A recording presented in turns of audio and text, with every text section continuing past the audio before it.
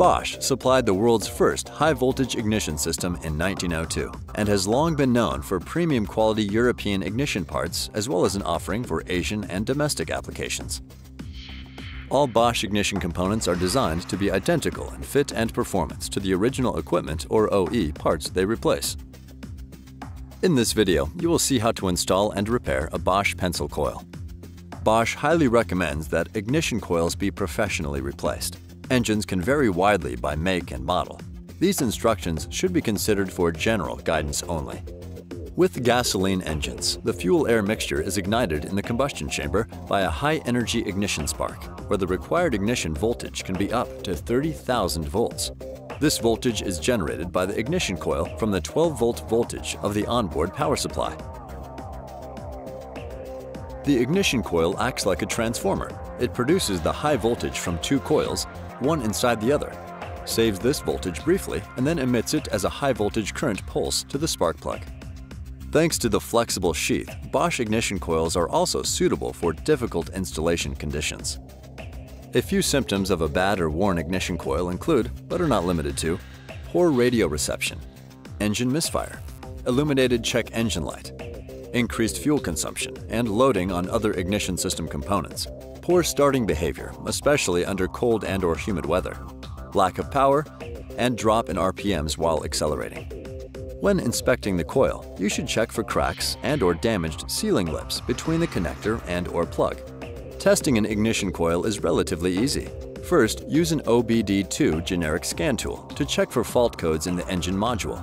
Bosch recommends Bosch or OTC branded diagnostic tools. Fault codes in the P030X range are misfire related. As an example, a P0301 is a cylinder indication that cylinder 1 has an issue. Note that a P030X does not automatically mean the coil is the reason for the misfire. Additional diagnosis is required to determine the actual cause. It's critical to ensure you've purchased the genuine OE product. All Bosch ignition coils have the Bosch name molded on the housing and, as referenced earlier, are engineered to the OE specification. Using an incorrect coil may result in an even more costly repair. If there is a short that lowers normal resistance in the primary windings, the engine control module driver circuit may become damaged. This allows excessive current to flow through the coil.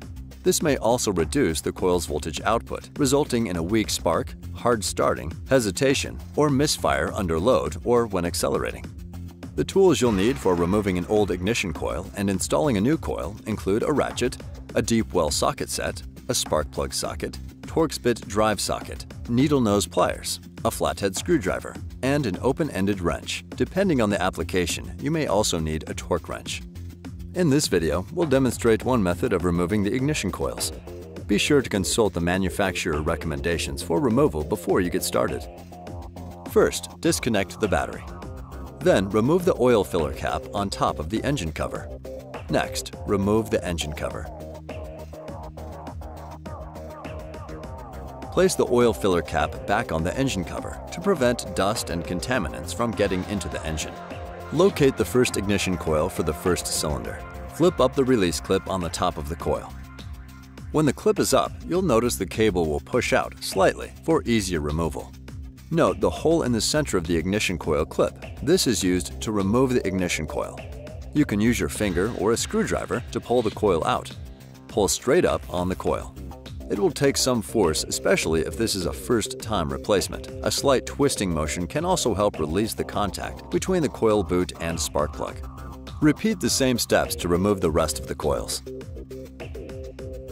This may be a good opportunity to check the valve cover gasket for leaks and or replace the spark plugs with new Bosch spark plugs. For more information about spark plug installation, please see our video on the Bosch Auto Parts website. Before installing a new ignition coil, check for cracks or damaged sealing lips between the connector and or plug. You should also look for corroded connectors or parting area breakdown on the plug insulator, including any evidence of burning or scorching on the insulator between the plug connector and the plug hexagon. Before starting the installation process, consult the vehicle's service manual for additional installation information. Replace the coils by reversing the removal procedure. Confirm that the connectors for all coils are securely snapped in place. Note that on newer designed coils, the coil will not snap onto the spark plug. Instead, you need to press down firmly over the top of the coil to ensure a proper fit. After ensuring that all coils are properly installed, you can now remove the oil cap and replace the engine cover. Install the oil filler cap and inspect the engine to ensure all parts have been installed properly. Reconnect the battery. Turn the key to the on or accessory position. If the check engine light is on, check the scan tool for stored codes and clear the codes accordingly. Start the vehicle to confirm that the misfire is gone. If so, you have successfully replaced the coils on the vehicle. Dispose of ignition coils according to state and local ordinances. To find your local source for high-quality Bosch automotive products, visit our website at boschautoparts.com. For professional assistance with your auto repair needs, contact an independently owned and authorized Bosch Car Service repair shop. Visit boschcarservice.us to find one near you.